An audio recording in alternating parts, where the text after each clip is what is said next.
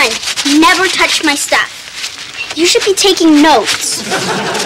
Rule number two, never set foot on my half of the room. How do I get out of here? Easy. You jump out the window and climb down the tree. I don't think so. Suit yourself. I'll find a way out.